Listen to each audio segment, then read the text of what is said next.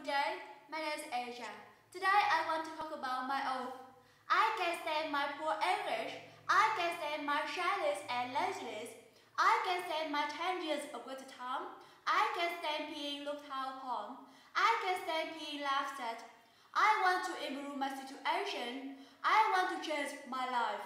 I want to have confidence in myself. I want to build a solid foundation for my future. I want to be successful. I want to be international. I don't want to let my parents down.